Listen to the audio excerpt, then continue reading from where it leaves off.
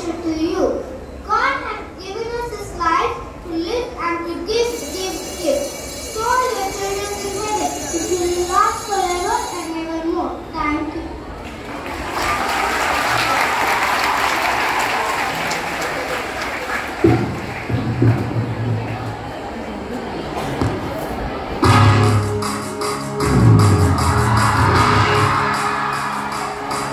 Thank you.